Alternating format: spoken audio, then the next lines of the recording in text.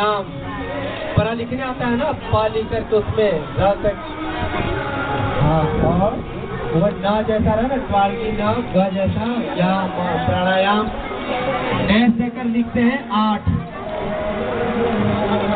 आठ लिखते प्राणायाम कितने प्रकार के हो गए? आठ प्रकार। के अब उसमें पहला नंबर लिखिए नीचे में। हो गया भस्त्रिका। भस्त्रिका।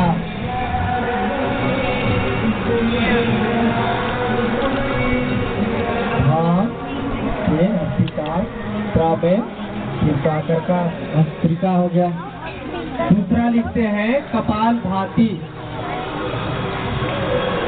कपाल भाती।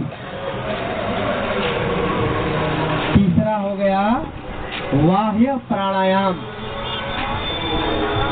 वाह हाँ उसमें हलत लगाते हैं और यह वाह्य प्राणायाम।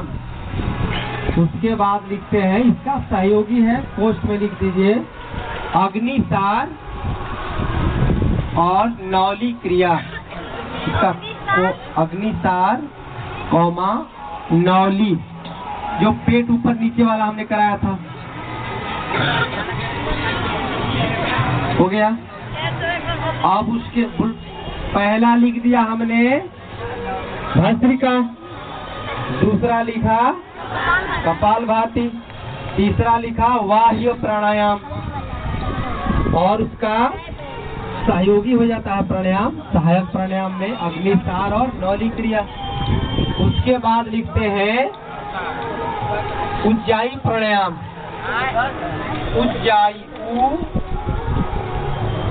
और आधा ज ज ज संयुक्त ज आधा ज फिर पूरा ज लिखते हैं।